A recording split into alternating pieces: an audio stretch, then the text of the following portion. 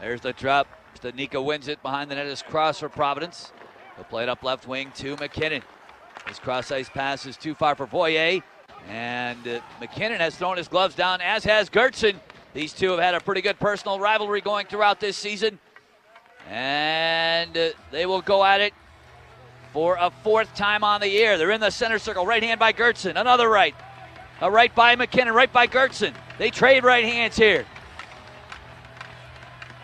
Geertsen, a overhand right. Inside jabs by McKinnon. A right by Geertsen. A right by McKinnon.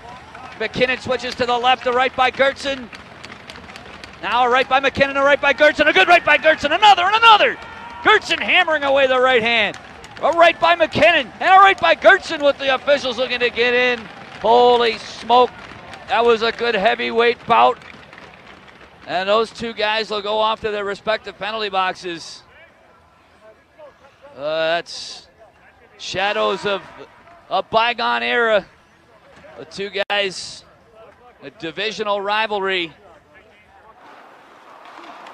Hartford, 44, Mason Geertsen.